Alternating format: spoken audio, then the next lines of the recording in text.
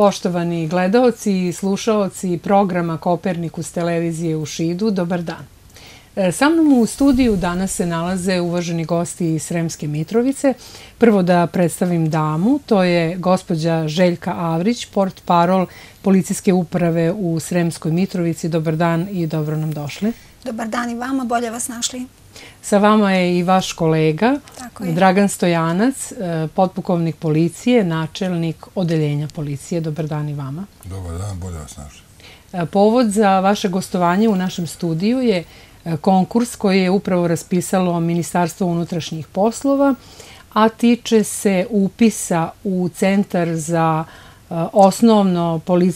osnovnu policijsku obuku u Sremskoj kamenici, koji je raspisan za 1060 e, polaznika. Pa da prvo malo sa vama popričam o tome e, ko zapravo ima pravo da se prijavi na ovaj konkurs. E, znači, Ministarstvo unutrašnje poslova, kao što ste rekli, raspisalo je konkurs 21.5.2020. godine za prijem, odnosno za upis e, 1060 polaznika na osnovnu policijsku obuku u Srenskoj kamenici od tog broja, znači od 1060, 510 je za radno mjesto policajac opšte nadležnosti, 250 je za rad e, saobraćeni policajac u saobraćaju i 300 je za rad na radnom mjestu granični policajac u stanicama granične policije Šid, Batrovci i Sremska Rača. Koliko je to polaznika za policijsku upravu Sremska Mitrovica? Za policijsku upravu Sremska Mitrovica to je ukupno 67 kandidata, 15 za rad u policiji opšte nadležnosti u policijskim ispostavama Šid, Sremska Mitrovica, Ruma, Irik, Pecin, Cinđija i Stara Pazova,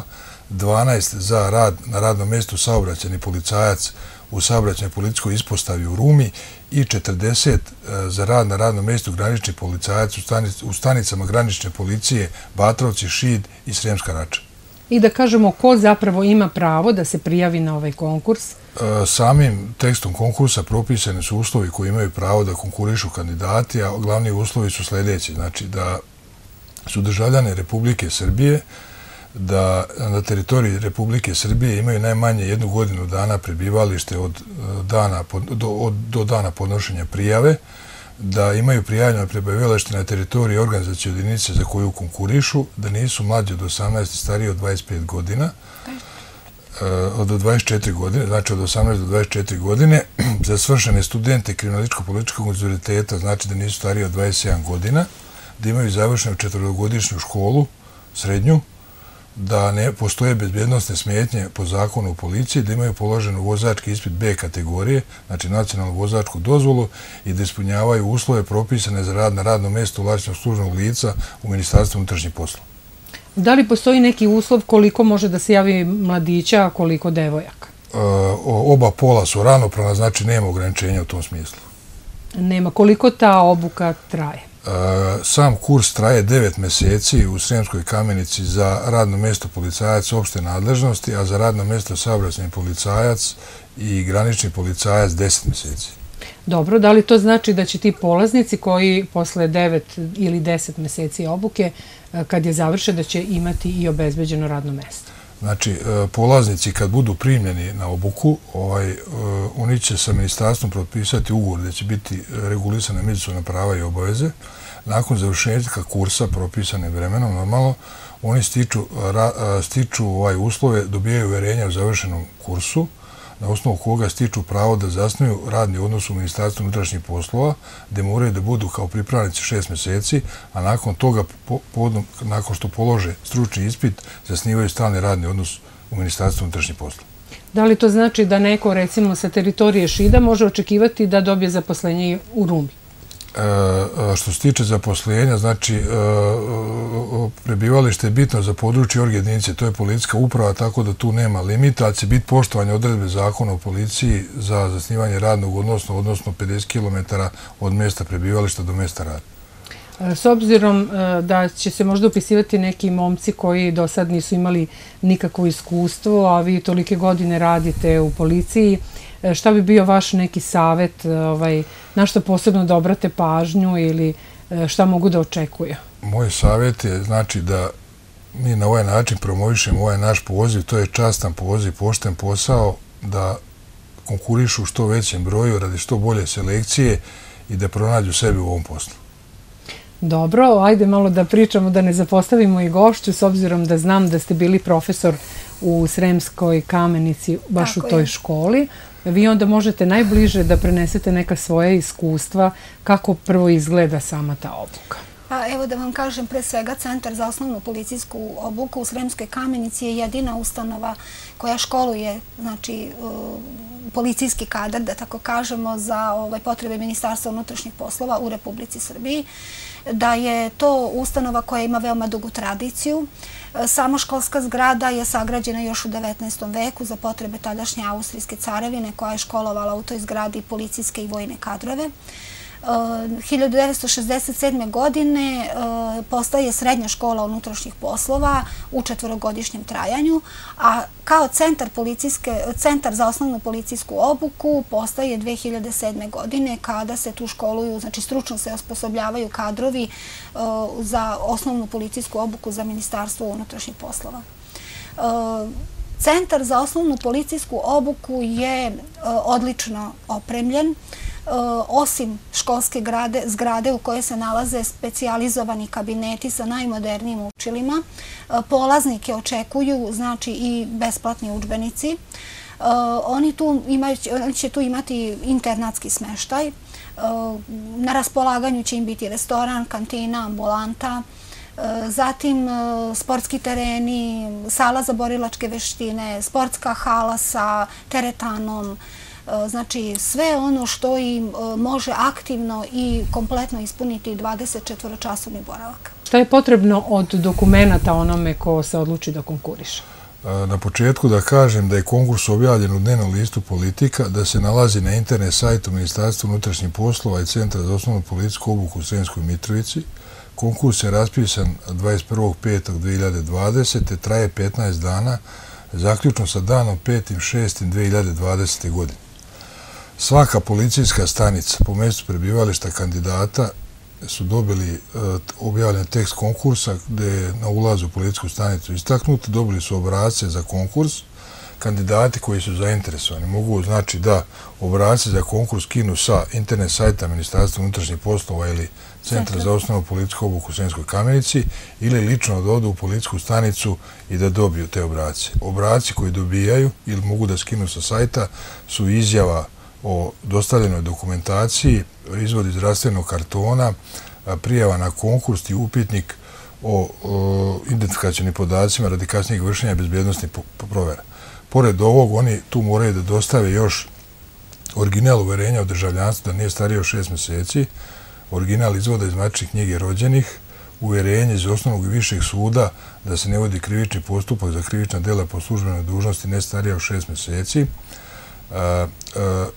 overenu kopiju diplome o završenim srednjoj školi, overene kopije svedočanstava o završenim srednjim razredima srednje škole, svršeni studenti KPU dokaz da su završili, znači ili je to uverenje o završenom školovanju ili diploma, overenu kopiju vozačke dozvole B kategorije i ovaj overenu kopiju lične karte bez čipa, odnosno čitač iz MUPA sa čipom još je preporuka da ovaj kandidati sami dostave uverenja o državljanstvu iz odmačne knjige, uverenja i suda, kako bi postupak bio brži i efikasniji.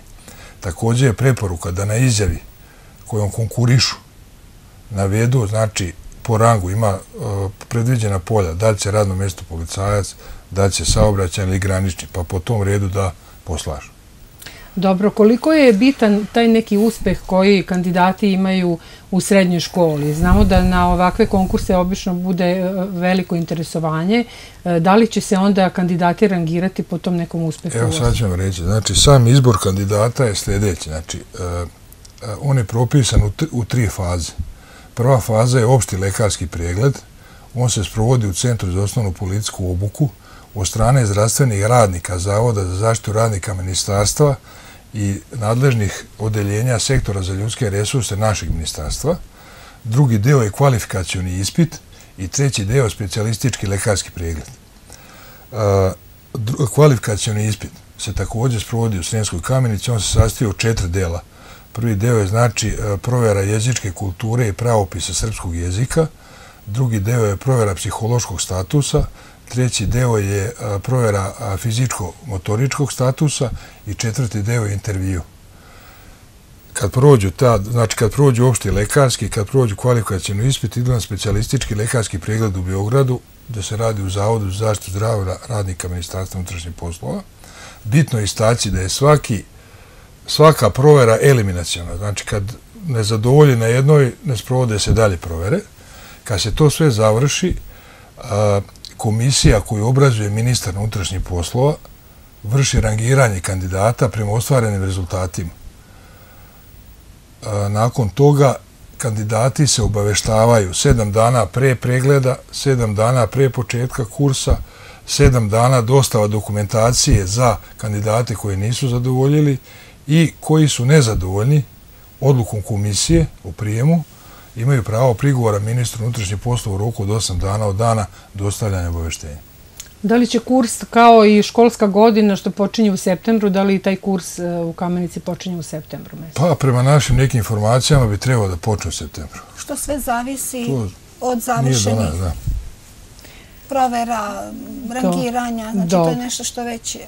Dobro, vi ste radili e, u Kamenici kao profesor. E, čuli smo sad od vaše kolege da je jedan od e, provera koje treba da se urade su jezik, jeli, poznavanje pravopisa. Pa šta možete reći, kakva su vaše iskustva, koliko naši srednjoškolci, znači svršeni, koliko poznaju jezik, pa, kulturu izražavanja, pravopis. I na kraju krajeva da objasnite i gledalcima Zašto se vrši ta jezička provera i za čega im je to posle u poslu bitno? Pa prvo, pre sveg da vam kažem da sve ove informacije koje je kolega rekao, svi zainteresovani kandidati mogu da pronađu i na sajtovima pre svega Ministarstva unutrašnjih poslova, mup.gov.rs, mogu da nađu na sajtu Centra za osnovnu policijsku obuku u Sremskoj kamenici copo.edu.rs. Na tom sajtu, osim u ovih uslova propisanih konkursom, potrebne dokumentacije postupka, nalaze se i e, primjeri testova, znači dosadašnji primjeri testova iz jezičke kulture, iz pravopisa, ono što ih očekuje, primjeri vežbi iz fizičko-zdravstvenih tih e, provere sposobnosti, E, šta ih očekuje na lekarskom pregledu. Znači, svi oni koji su zainteresovani, slobodno neka idu na sajt i neka vide te, da tako kažem, detaljnija neka uputstva i naći će detaljnije informacije vezano za, i između ostalog i za proveru ovaj, jezičke kulture i pravopisa srpskog jezika. Zašto im je bitno? Pa normalno maternji jezik je u pitanju, službeni jezik je u pitanju. E, potrebno je da imaju pre svega e, i kulturu ponašanja i kulturu obhođenja, kulturu govora, jer je komunikacija jedan od bitnih delova našeg posla. Koliko je važno i za tu neku dokumentaciju koju vi u svom redovnom poslu morate da, da popunjavate, da i to bude ovaj, popunjeno pravilno, da, da poznajete pravopis? Kako da ne, vidite. U suštini uh, to se uči u osnovnoj školi, u srednjoj školi. Naša E, obaveza je da znači kroz taj jedan segment kvalifikacijonog e, ispita samo proverimo nivo njihovog znanja. Dobro i pretpostavljam da je cela kompletna nastava na srpskom jeziku, da i to kažemo, ali da to nije prepreka, jel? Vidite, i kvalifikacijani ispit jeste na službenom znači, srpskom jeziku, s tim što psihotest, odnosno provjeru psihološkog statusa, e, pripadnici nacionalnih manjina mogu zatražiti da obave na svom maternjem jeziku. Dobro, ovaj, koliko imaju predmeta, koliko ovaj, je nastava? Nastava je predmetno modularna, ona je prilagođena, e, Um, da tako kažem, nastavi sa odraslima. Uh, celo školovanje traje 9, odnosno 10 meseci, čuli ste od kolege, i usmereni su na one predmete i veštine koji su u stvari neophodni i jako važni u obavljanju poslova kao pripadnika Ministarstva unutrašnjih poslova. Znači, sve opšte znanje, opšte predmete, oni su sticali to znanje tokom četvrogodišnjeg školovanja. Ovdje ih čekaju isključivo one, eh, oni, ona znanja i one veštine koje do sad nisu imali prilike da se susretnu sa njima. Pomenuli smo da je ovo konkurs za policajce, za saobraćene policajce i za policajce na graničnim prelazima. E, na koji način sad neko ko tek konkuriše može da se opredeli i da tu neku svoju želju izrazi ukoliko želi baš da radi na granici ili da li postoji ta mogućnost? Znači u obracima koje dobijaju prilikom zahteva za podnošenje prijave ima ostavljena polja gde se on reagira na 1, 2, 3, gde se kandidat izjašnjava da će on biti granični policajac u prvoj, pa u drugoj da će biti policajac, da će biti saobraćajni policajac. Razumete? E, to je znači ostavljeno tako. To je sad prvi put urađeno po ovom konkursu. Dobro, ajte malo iz prakse, iz onog praktičnog života. Vi ste policajac, e, ovaj, pa da im malo približite kako izgleda taj posao, koliko je dinamičan, koliko je zahtevan, koliko je opasan u današnje vreme? Pa posao policajca je vrlo zahtevan, vrlo dinamičan i vrlo rizičan. Znači, opet oni dobro nek razmisle, ali ja kao dugogodišnji pripadnik službe smatram da je častan pošten posao i da mnogo mladih ljudi mogu sebe naći u tom poslu i ostvariti se u budućnosti. Dobro, mladim ljudima je sad e, važno da nađu zaposlenje, znači s ovim e, kursom, ako smemo tako da kažemo, odnosno tačnije obukom, oni će dobiti priliku za svoje možda prvo radno mesto i da kažemo nešto o tome i o toj plati koju svi očekuju. Znači, e, vi ste, s obzirom da ste državni, plate su, možemo reći, redovne. Plate su redovne i u skladu sa propisanim normativima. E, dobro, znači to može biti veliki motiv za za nekoga ovaj, ko se upisuje. A vi, uh, bi, vas bih molila da nam kažete, s obzirom da vi svaki dan sarađujete i sa, sa obraćenim policajcima, sa uh, ovim redovnim i sa, ovim, sa granice, ovaj, pa da nam nešto kažete iz, iz vašeg ugla. Pa kako evo, izgleda sarađivati sa pa toliko vidite, ljudi? Kao i kolega i ja sam čitav radni vek provela u Ministarstvu unutrašnjih poslova, znači 30 godina.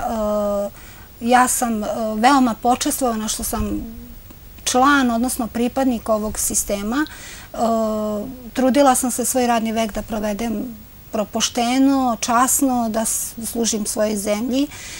Divno je sarađivati sa kolegama mojim mogu samo da kažem samo reči hvala, imam zaista dobru saradnju i ovim putem pozivam sve zainteresovane devojke i mladiće, znači koji odgovaraju uslovima koji su propisani konkursom, da se prijave na konkurs, e, da i oni jednoga dana dođu u mogućnost da obavljaju ovaj častan, e, težak e, i veoma odgovoran posao. Dobro, koliko je važna ta neka hijerarhija koja postoji unutar jedne policijske stanice ili policijske uprave i koliko je važno da e, ljudi koji se opredeljuju za to svoje buduće zanimanje budu ljudi koji su spremni da timski rade i ljudi koji ipak na neki način treba da poštuju i da slušaju autoritete. Pa evo, sami ste, što kaže, postavili pitanje i odgovorili. Ministarstvo unutrašnjeg poslova podrazumeva, je kolektiv, podrazumeva timski rad. Znači, mi smo svi samo jedna karika u jednom sistemu koji mora tako da funkcioniše i ako svako od nas obavi onaj deo posla za koji je e, odgovoran i koji je, što kaže, rešenjem ovaj, mu ponuđen, odnosno dat na rad, mislim da onda funkcionišemo zaista kako treba. I da kažemo i koju reč o toj nekoj rodnoj ravnopravnosti, odnosno o toj mogućnosti da e, posao policajca obavljaju i žene, što nekada nije bio slučaj. Na koji način se gleda, gospodine Stojanac, eh, kad se desi neka situacija, da li će i da li se uopšte gleda, da li će eh, učestvovati u nekoj akciji žena ili neće? E, pa vidite, e, znači, e, zastupljena je roda ranopravnost, nema nikakve razlike između muškog pola i, i muškarci i žene u policiji su potpuno ranopravni i u ostvarivanju svojih prava i u realizaciji svojih obaveza.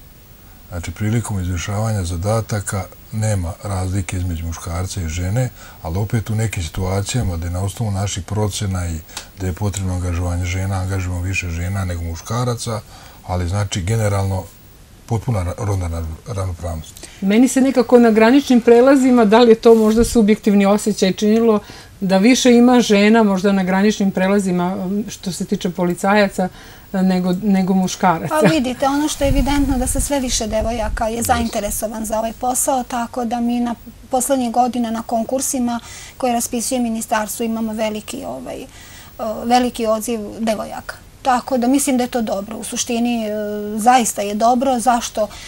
Možda zato što sam i sama žena, pa zato kažem, ali zaista su odgovorne, fizički su isto dosta spremne, e, shvataju odgovorno i ozbiljno ovaj posao, tako da ne vidim razliku u tom nekom smislu što se tiče rodne ravnopravnosti. E, poslovi se ni ne dele tako, nego u smislu ko zašta najbolje može da obavi. Znači u smislu sposobnosti, stručnosti za određeni zadatak, posao i slično.